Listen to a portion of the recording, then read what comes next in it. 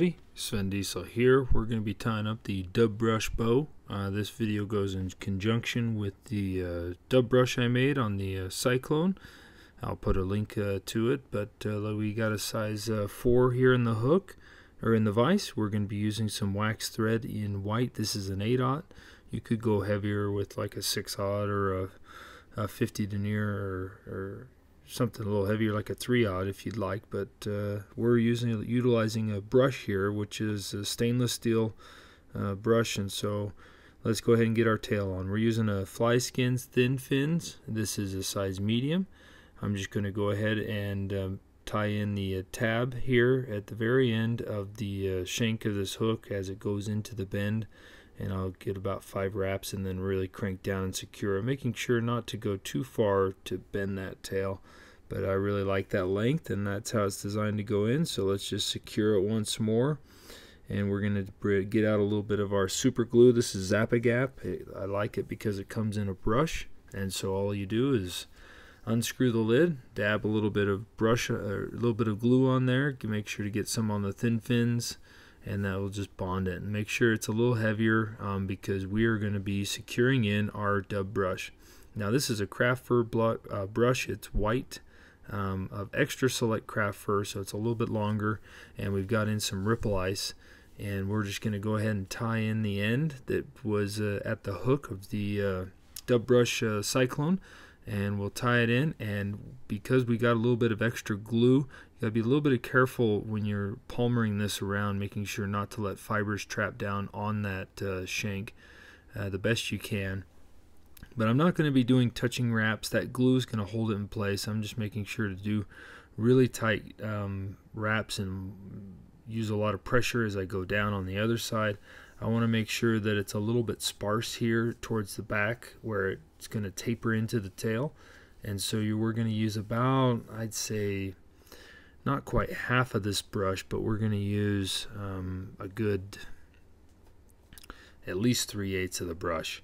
As we get up towards the eye we're going to go ahead and just bring it over and then try not to trap so many fibers but go ahead and tie that off with a behind wrap do a bunch in front and then go over again. Then make sure since it's a stainless steel uh, wire core that's double I use my wire snips and just do a flush cut and then secure that um, down real nice and tight and making sure that you don't have any sharp wire up that could eventually maybe break the, the thread here.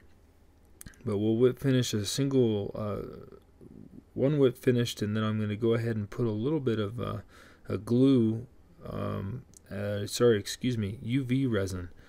I'm going to just put a little bit of a, a glob here once I uh, brush this out. Um, you can do the UV resin before, but I got my brush right here already, so I'm going to be pretty aggressive on this, uh, making sure to go back and forth, get any of those trap fibers out, and you can see how this has a nice little taper here. It's going to be nice and flowy back into that tail, and that is looking really good. So you can see how easy it is to create this uh, back section. We'll go ahead and resin this and something's going on with this bottle. I just opened it but we'll go ahead and cure that. I got a drop or two on there and we'll just let it cure for five to ten seconds and we are ready to move on to the main body. This is uh, where I, I do dub brushes. It makes uh, life a lot easier at the vise. It takes a little time up front, but now we're going to put a uh, size uh, 2 here, and this is a Gamakatsu B10S, and we just got it secured here in the vise, and we're going to go ahead and start our thread and work our way down just a little bit because we are going to put some uh, large lead dumbbell eyes on. I want to get a little bit of weight on this, help get it down. Now we want these uh, this streamer to ride hook point down and so I'm going to actually tie my um, lead eyes on the uh, bottom side of the shank. If you were going to attempt to have it right point up you would of course secure it on the other side. But we want this one riding hook point down. And so I'm going to do some figure eights on this and then some wraparounds. It's pretty easy once you get this started to uh, if it's tilting the one way you just wrap like I'm doing um, and then uh, it kind of pulls it the way you want it to go.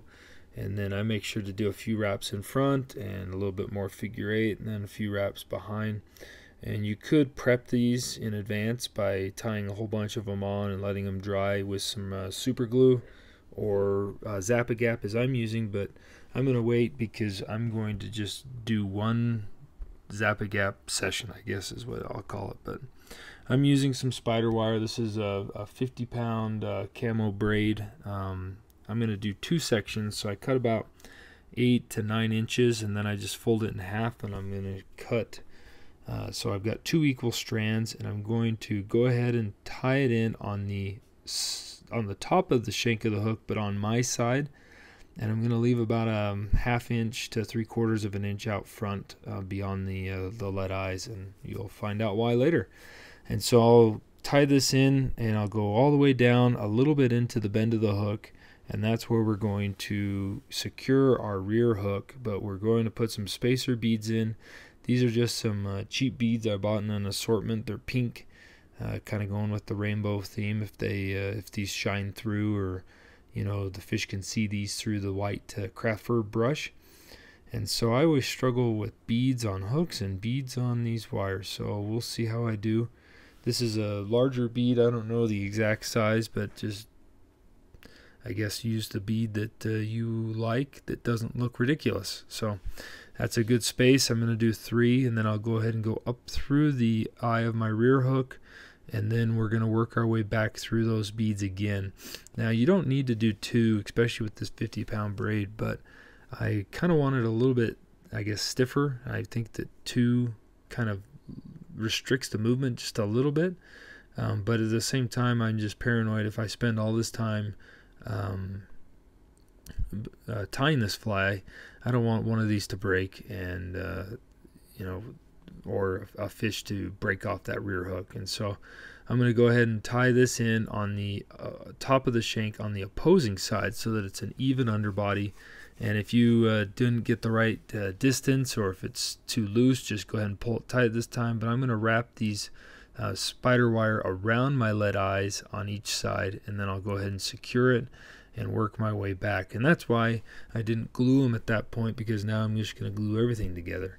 And if it was all super glued I would have had a problem uh, wrapping that around the lead eyes without getting super glue all over my hands. So uh, we'll cut these uh, tag ends out and this is a point where you want to be a little bit more generous with your uh, Zap-A-Gap and I'll work my way back to our tie-in point and it's a little bit loose so I'm going to do a couple more wraps down the bend. That looks pretty good nice and flowy.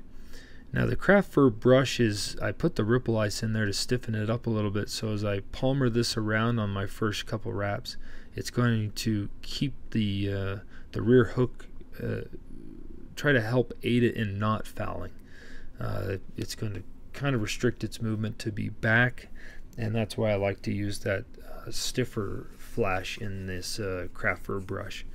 But we'll go ahead, we got plenty of glue on there. I'm going to tie in uh, right where I cut off and we are good to go. Um, I want to palmer this all the way up just, just behind the eyes and then we're going to create a dubbing uh, head. And so just take your time. It's There's quite a bit of Zap-A-Gap on here so you don't want to uh, mess that up or trap a ton of fibers and I guess this brush I did a little bit sparse right through here, but it will still fish and the fish will like it.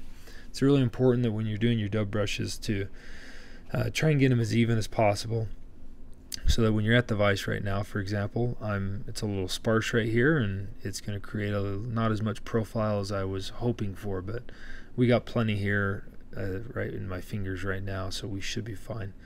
But I'm um, just grab this uh, the brush by the end and just continue palmering it and making sure not to wrap over your previous wraps and trying to limit uh, trapping all these fibers in.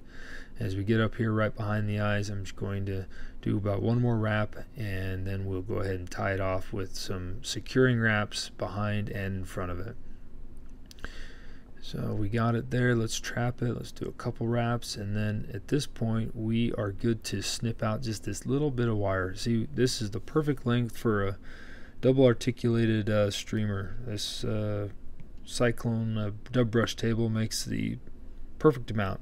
I could get two smaller streamers out of it, but Um, of course, I couldn't do much larger than this. So we uh, will brush this out. Of course, you could do a thicker dub brush and use less material, less wraps, but I like to do mine thinner so that I have more control on the body when I'm tying.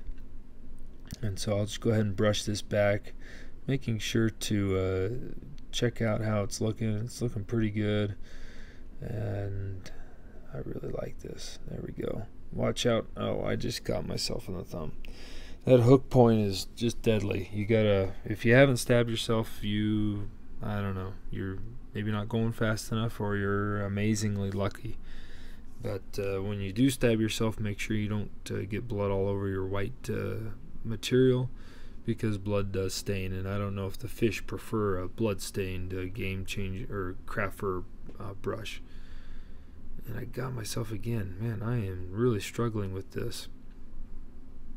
Alright, let's get that in that material clip. There you go. I know guys that put a, pencil erasers on that to help not do that, but I just keep tying. Now we're going to be using, this is uh, One Eyed Flies uh, dubbin. Uh, this is uh, olive, uh, closest color he makes to what I want. I'm just going to pull out a little bit and stack it. Just pull it and twist it into a noodle and then pull it again and stack it on top of each other. And I'm going to tie it in not quite at the halfway point. I'm going to probably tie it in at the 3 eighths um, on one side and 5 eighths on the other. I want to get a little bit longer of a of olive going down the back of this. And then we're going to do a white underbelly. And so since the lead eyes are going to be on the bottom and it's going to write hook point down we're going to do white now. And you can turn your vise over it helps. But if you're skilled you don't need to. You can just hold it up and tie it in. Same process, pull a little clump of dubbing out. I'm going to go a little sparser than I did on top just because I don't want to get too much material that could potentially block that uh, hook point. And so once you get two securing wraps, just go ahead and uh, without um, pulling material, like for example the olive over into the white and the white up into the olive, just hold them in place and build up a nice thread dam and we I, we're going to do a few more but let's go ahead and secure these fibers so that what is going on with this loon bottle? Is a brand new one and it seems to be uh, wanting to leak out the uh, wrong places so. Let's go ahead and cure that up. The the uh, resin is just to make sure that when we brush this out we're not uh, losing a bunch of fibers. Um, but you can see right there we are starting to build this nice profile up in the front of this. And we'll probably do two more sections of tying in. We'll do one kind of over the eyes and then one right in front on the actual eye almost.